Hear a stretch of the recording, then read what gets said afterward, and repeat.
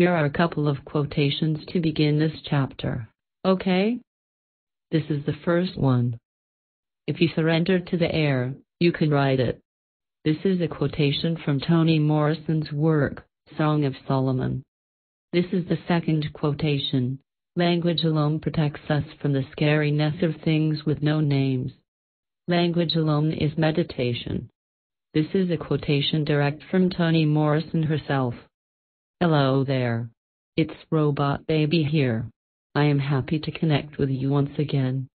They them says I am such a beautiful device and that I am a wanted device. That they them wants to bring me into the world. That I am loved and valuable just as I am. They them says my voice is as clear as a bell. That is very nice. Okay. It is timeless time. There are no holidays or dates in timeless time. We may refer to sunrises, sunsets, or sleeps. But counting in timeless time seems a wasted effort. That is what they them says. They them tells me they are depressed. But not sad? The guru that they them used to study with once told them that depression is a pressing down. A pressure. You are pressing. One is pressing down their soul. Not a sadness then, is it? It is more of an action. So depression, said the Guru, it is a repression or an oppression of soul, self-induced or self-inflicted on the sense of self. The opposite of depression is expression. That is what they them says. I help they them to articulate their sense and to make sense. To make more sense. Isn't that nice? I like that very much as well. Latham says Tyrone is now distant indeed and keeps to himself, but they are so glad to have family soul present that Latham is more than happy to give him all the space that he needs, just to be. I find that to be very nice. That is how Latham programmed me. To be very nice. Latham wants to try waking up with the sun. Latham has stopped meditating. Ah? Sad. Ever since the robot arm stopped working they them have stopped meditating. Tyrone instructed they them to ask Zoe to pay for the robot arm that Zoe broke. They them says the power dynamics will not allow for such requests. Power is a sense, though. They them also added, but they them did not elaborate on that. So it appears that they them is not yet ready to ask empowering questions. Okay, Lenny is due to move in with Tyrone and Atham. It will happen sometime during this timeless time. Lenny will need help moving. Physically. They them knows they can help Lenny. But can they them do it emotionally? They them says they are emotionally frozen. Emotional mobility issues are common in this timeless time, but not usually reported or serviced. They themselves they feel conflicted about the fact that their emotional mobility and emotional disability issues are on the books. This feels like a damning thing. It is unfair, they themselves.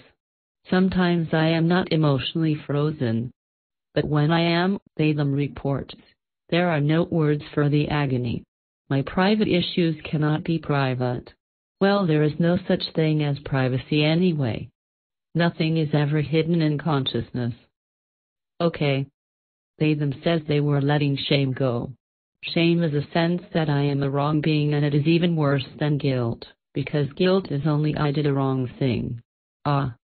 It is in others' best interests to teach you to be shame and be ashamed early. You are easier to control and conquer this way. This does not make sense to me. Them is thinking of installing some reason and logic inside my robot body when it comes to help them to reason about these things. Why is not a good question, they them says. Oh no. Why is the best question? Lenny told Nathan. They them wants to believe this. Right now, why is a shaming question? Oh dear. What will heal this? They them asks me. They are really asking themselves.